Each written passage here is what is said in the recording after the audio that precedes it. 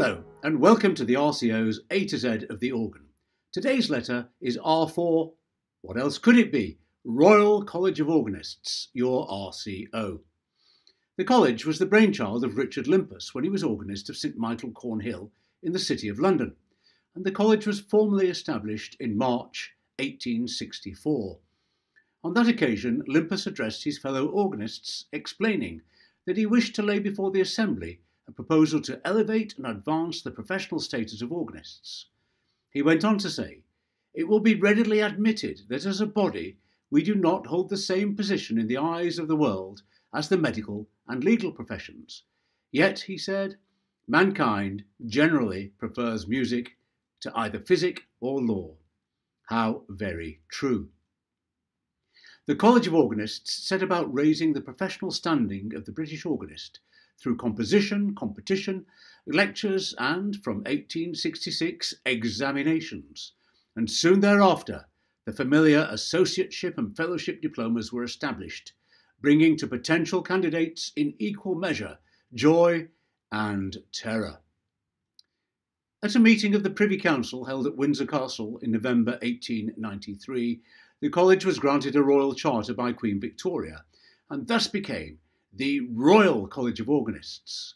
What's more, in 1939, King George VI consented to become the college's patron, and we continue to enjoy the patronage of Her Majesty the Queen and the support of members of the royal family. Today, the Royal College of Organists remains dedicated to the promotion and advancement of organ playing and choral directing.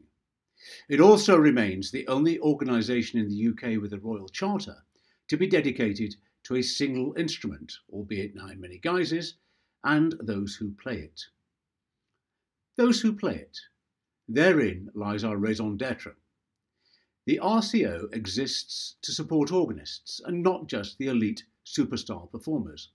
It is inclusive and is ready to support organists at every age and stage, or as we like to say, it is the first stop for every organist. Ho ho.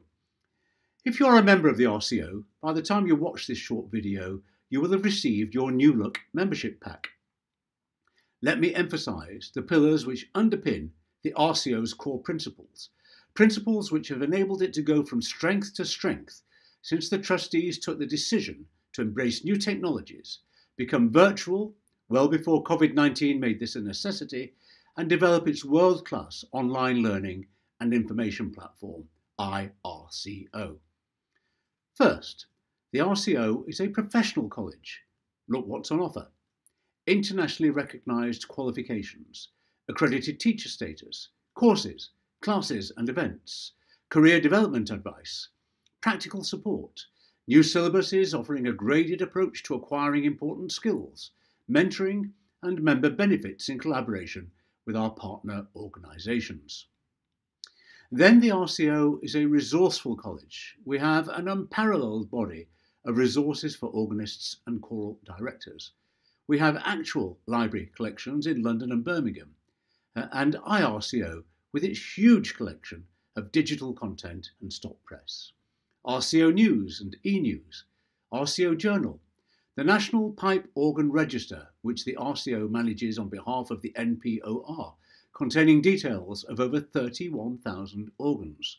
But I know you knew that already from our recent film, N is for NPOR, and the Early English Organ Project, two reconstructions of Tudor organs which are available for residences. The RCO is also an accrediting college. You will be familiar with our gold standard diplomas, but have you explored the RCO Certificate of Accredited Membership known as CAM, C-A-M, the Accredited Teacher Programme, the Institutional Accreditation Programme, and Affiliate Student Membership. Next, the RCO is a teaching college. We offer webinars and online tuition, online support content, introductions to accredited teachers, an enormous range of short courses, the summer course in London, the organ student experience, usually held in Cambridge or Oxford colleges, and awards and bursaries to support students of all ages and abilities. Finally, and most importantly, the RCO is a members college. Members may nominate and vote for trustees, vote at the annual general meeting, attend the annual conferment of diplomas ceremony, nominate recipients for the RCO medal, our highest honour, choose to be included in the published directory of RCO members, access exclusive discounts, use the RCO's membership logo on their personal stationery. Combine all of that with recent exciting events and developments, the Nine Organ Extravaganza in Westminster Cathedral in November 2019, the Composition Competition, Organ Week in 2021, RCO Choral Day, RCO Children's Day, pedals, pipes and pizza, and hashtag inspiring organists, International Organ Day on the 24th of April 2021, a new and exciting collaboration with the American Guild of Organists, the development of many corporate and creative partnerships, the RCO Foundation, and the Friends of the RCO.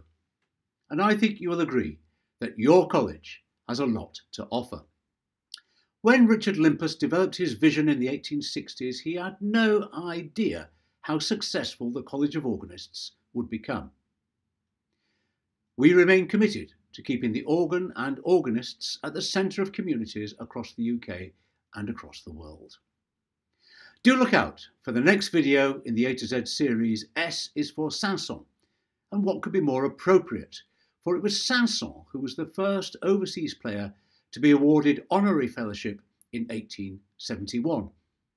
No doubt that honour, unique at the time, is what inspired him to write the Organ Symphony 15 years later. I thank you for your support, enthusiasm, dedication, and energy. And if you are not already a member, why not join the Royal College of Organists today? Thank you for watching. Goodbye.